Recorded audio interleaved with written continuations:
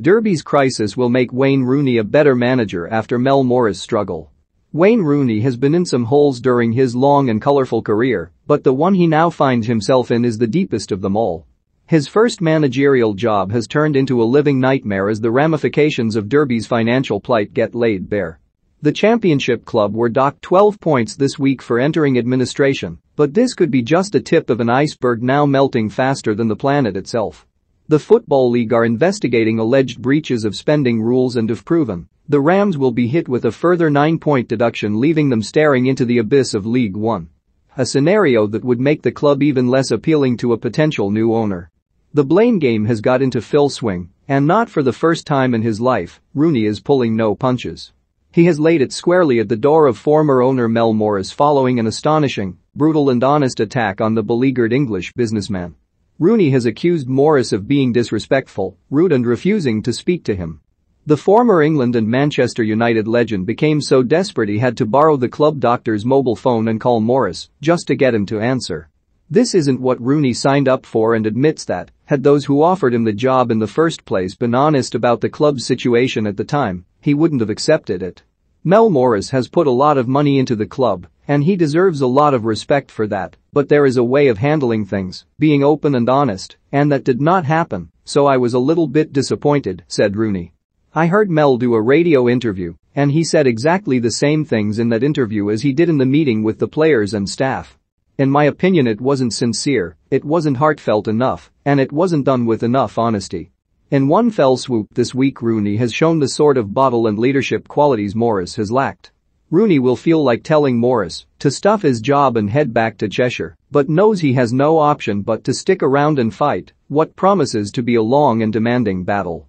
He knows he has a responsibility to himself, his players and his staff to lead by example, but his decision to call out Morris shows he can be the person all those mentioned above want and need him to be. Scoring goals on the pitch came naturally to Rooney, but he is now swimming with sharks in deep, deep waters that are still unfamiliar to him. Talk about learning a new trade at the sharp end?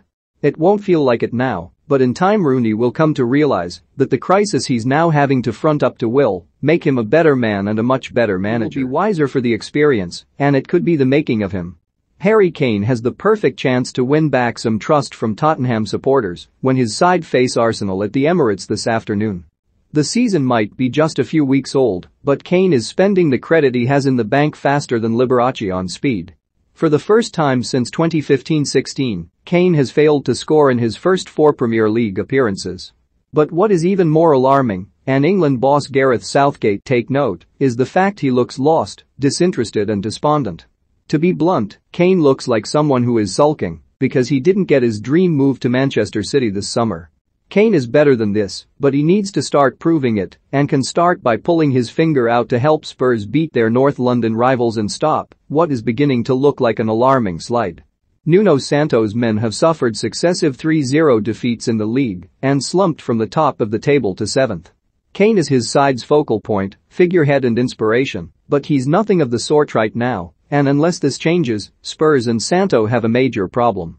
Good week Tammy Abraham, the Chelsea reject can't stop scoring for his Roma and is reveling in a love-in with the fans. An England recall could be on the cards. Heather Knight, her classy century inspired England to their highest successful run chase in a one-day international as they beat New Zealand by three wickets to clinch the five-match series with a game to spare. Johanna Konta has pulled out of the upcoming WTA tournaments in Chicago and Indian Wells with a growing problem, adding to the belief that she's becoming the forgotten star of British women's tennis.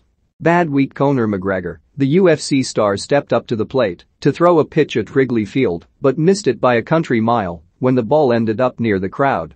What a berk. Romeo Beckham, supporters were left less than impressed following his professional debut for Fort Lauderdale. Perhaps being the son of a footballing legend is not all it's cracked up to be. Adrian Lam, his tenure as Wigan Warriors head coach ended in a whimper as his side crashed out of the Super League playoffs to Leeds without scoring a single point